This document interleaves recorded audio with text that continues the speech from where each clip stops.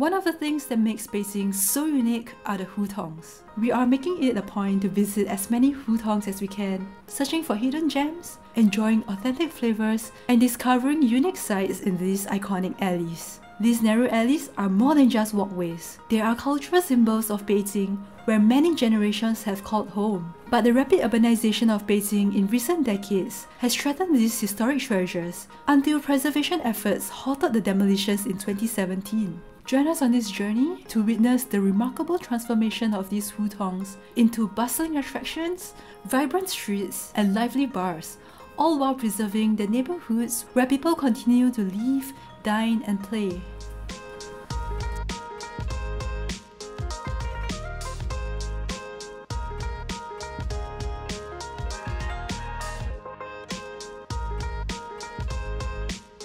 We're going to try to ride the bike and show you around the Hutong.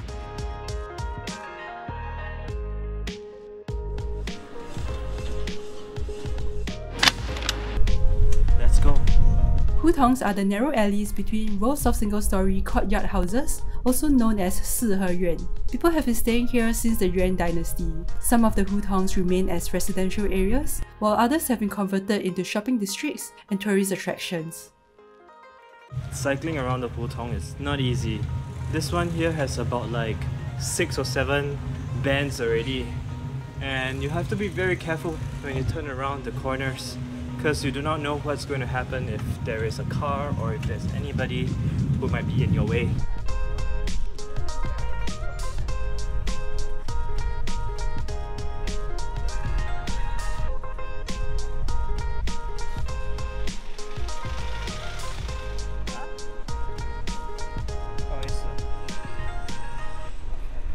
That was a close one.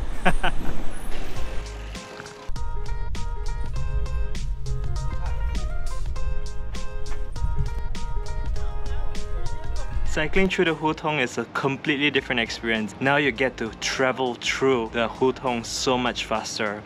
Pretty cool. On my previous trip to Beijing, I also visited the hutongs, but the experience was completely different. I was sitting on a trishaw and we were just going around. I didn't see all these shops and all these people selling vegetables and meat and also like snacks and breakfast. This is so interesting and so different from the previous experience I had. We are heading to the main street to park our bikes and then we will continue walking through the hutongs.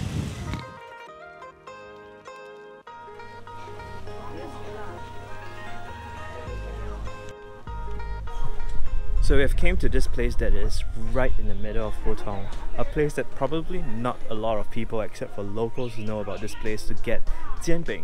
Jianbing is like a rice pancake that has a lot of ingredients inside, almost like a burrito kind of feeling.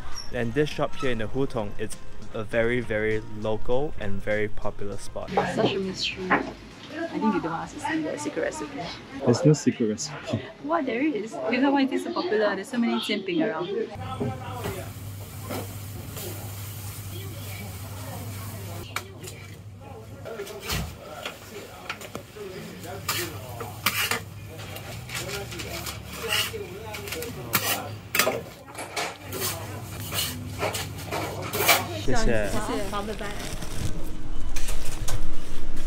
Huge! Oh my gosh, this is so big. I have no idea how you're gonna eat all of these. Look at this. It's as big as the size of your face. There's so many ingredients inside, I don't think I will be able to try everything in my first bite. But I'll try.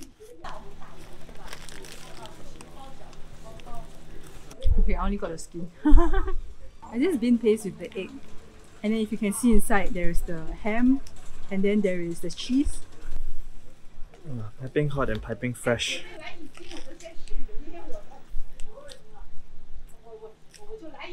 Superb. It's really worth the wait actually. Super delicious. Every bite is like full of flavor. Wow. I wish there's so much more meat, but at the same time like this in itself is super delicious.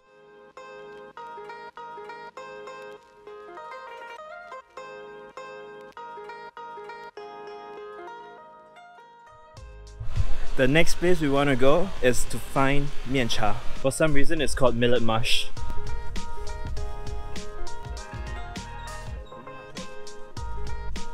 It's like peanut butter and sesame with some mush at the bottom. Oh, it's so hot. I can't tell what it is. The person was saying like do not mix and stir it. If you mix and stir it, like everything just blends and gels in. So like he recommended not to do that. It's very very hot.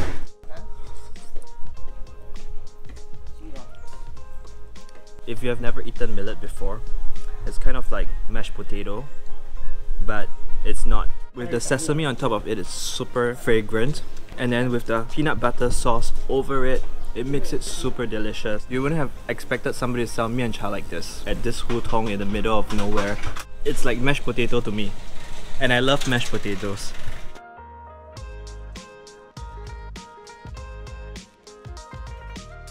For lunch, we decided to go to this place that sells really famous noodles.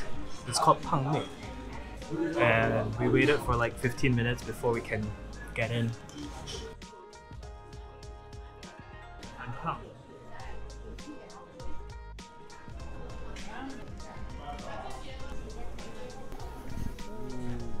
I think we got a feast here. Chickpeas. So I think this is supposed to be like chicken shreds or something. Oh, it's good. One more dish that we ordered is the beef noodles. And this beef noodles looks incredible. This is really spicy, but it tastes so good. Try the beef.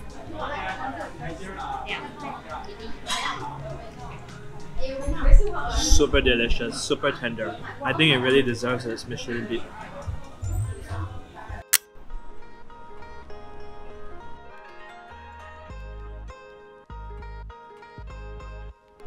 This is the drum tower behind me.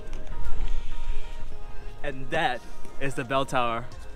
These two towers are the tallest buildings in the entire Hutongs. So everybody will be able to recognize where these two locations are, which is the south one and which is the north one. Many of these relics have been preserved, and the way they do so is by using the same materials and the same designs as the original. We got tickets.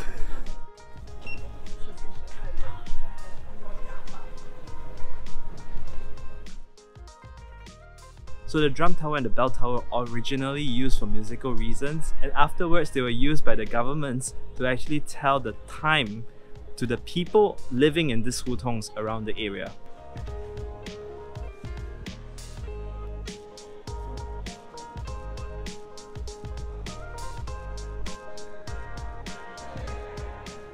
Aaron, come and play the games. what games? So that there are two games here. The first one is like you have to play with the music rhythm, and the second one you get to ring the bell. I think. Which one do you want to play? This one. This one. Okay.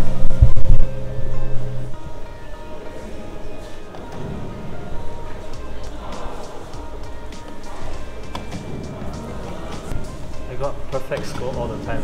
Wow. My final score is it's still increasing. Still keep increasing. This takes a while. Oh yes, 109,000. Please watch out the stairs. Made it. There used to be 25 drums in this tower, but only one survived.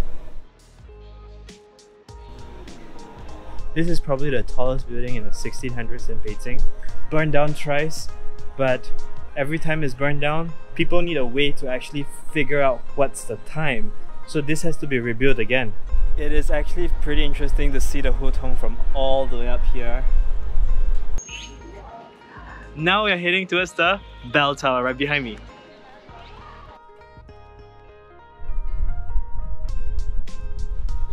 This is the king of ancient bells.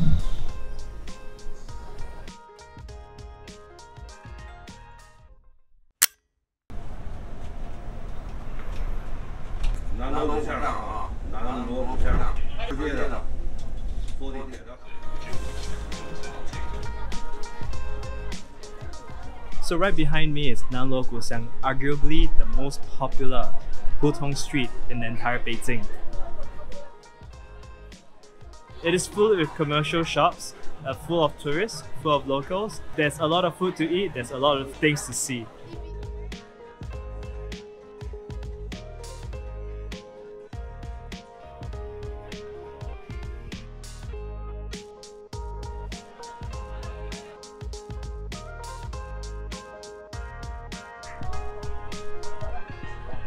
Super refreshing. I'm going to have the whole thing by myself.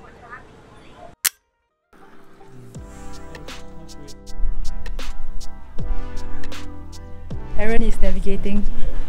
Trying to find the Siheyuan or the courtyard house. Not every house here is open to the public.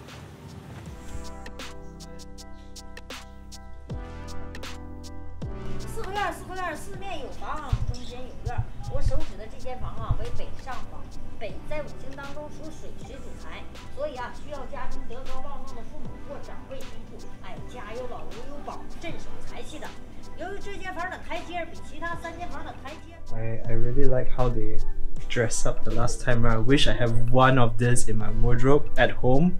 I wish I can wear this when I go for like important gatherings so that I'm the most important person in the whole entire space.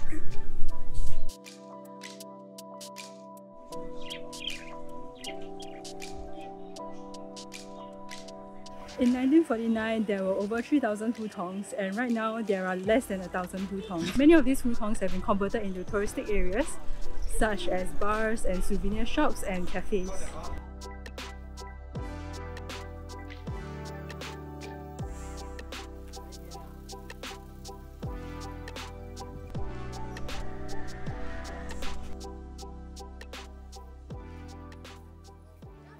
there is this beautiful garden right beside the hutong that we are walking through. And in this garden, which is sitting beside the lake, there is a watchtower. And this watchtower looks super stunning.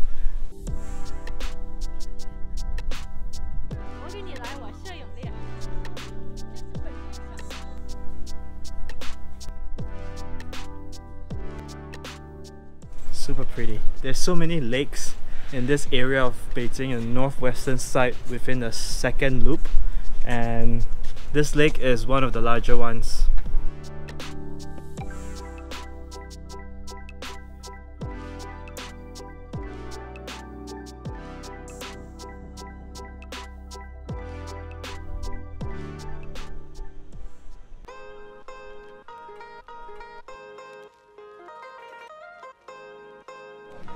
There's so much excitement and energy going on. Some of these streets have turned into a commerce district, and now there's just so much hubbub. You can buy and eat food and ride on these trishaws. I think it's pretty exciting nowadays. 14 years ago, I was literally standing right here at Shichahai, and I was impressed by the fact that this place was super beautiful. Looking around at how the willows form, so much feels coming back today again.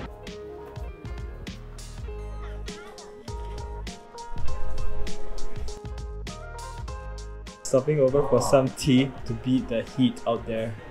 Hot tea is always good tea. We got the jasmine green tea and it came with like some teapot and two other contraptions. Two of them are glass and then one of it is like a teapot, but I have no idea how she makes it. This is to collect the loose leaf that will fall.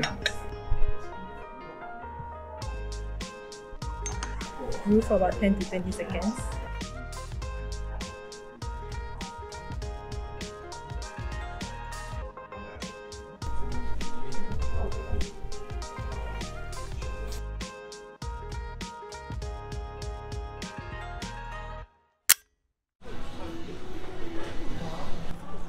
Place changes so drastically as the night falls. All the bars are popping up, or they have always been here, but they just start playing like live music, so it kind of catches our attention. And almost every single bar has like someone singing there instead of a band.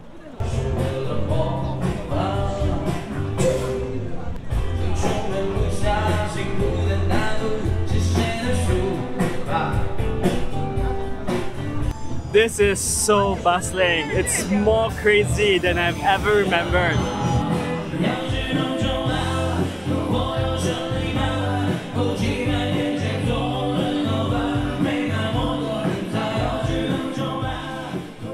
As the night falls, the other side of Beijing's hutongs come alive. with bustling nightlife and street vendors. This metamorphosis mirrors the transformation seen in historic urban districts all across the world. City governments often have to decide between demolishing old spaces to make way for modern business or tourist districts, or to preserve the cultural heritage. Beijing, however, seems to have found a middle ground. The hutongs stand as a testament to the success of blending tradition with contemporary needs. In this video, we've only scratched the surface of hutongs. There is a wealth of history and culture waiting to be explored. So Beijing, we'll be back someday